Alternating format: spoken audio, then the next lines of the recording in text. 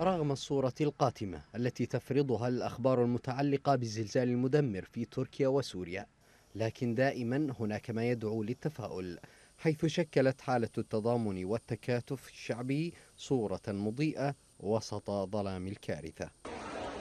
بعد ساعات قليلة من وقوع الزلزال هرع الآلاف من المواطنين الأتراك والمقيمين من مختلف الجنسيات للتبرع بالدم في طوابير طويلة بلا نهاية. ما دفع المنظمين إلى طلب العودة في اليوم التالي بسبب كثافة الأعداد.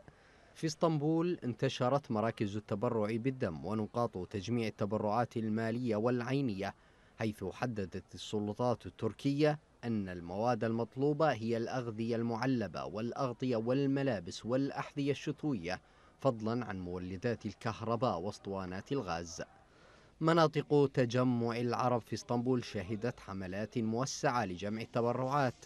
لم تتخلف جالية عربية واحدة بالإضافة إلى طائرات مساعدات عربية حطت في مطارات تركيا.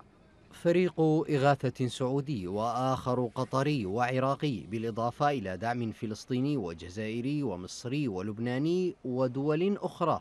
إسلامية مثل باكستان وماليزيا وأوزبكستان.